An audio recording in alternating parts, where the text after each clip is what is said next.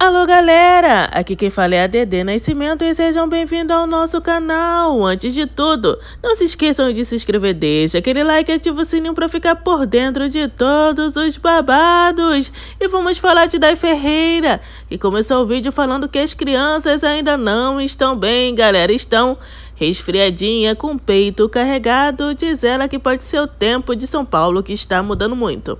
Então ela falou que as crianças não foram para a escola, que vai ficar observando se melhorarem, vão para a escola nos dias seguintes. E o Paulo foi com as crianças para a casa da sua mãe, pois ele tá terminando o laguinho, né, da mãe. E as crianças brincando, bem ativa, corre para lá, para cá, fizeram escorrega, escorregaram e coisa e tal.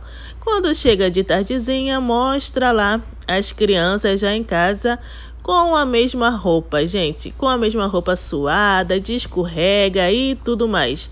Mas o Paulo fala que eles tinham tomado banho na casa da avó mas, gente, por que não trocou a roupa da criança? Porque dar banho e vestir a roupa suada é a mesma coisa que nada, né? Porque a Nhaquinha vai estar tá lá.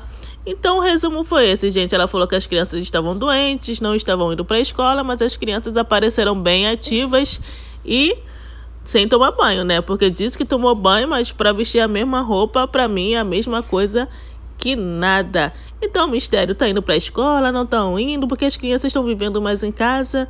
Dai Ferreira sempre um mistério para nós, não é mesmo? Então o vídeo foi esse, espero que tenham gostado e deixe aqui nos comentários o que vocês acham. E se for novo ou nova, continue aqui comigo, fiquem com Deus, bye bye e até a próxima!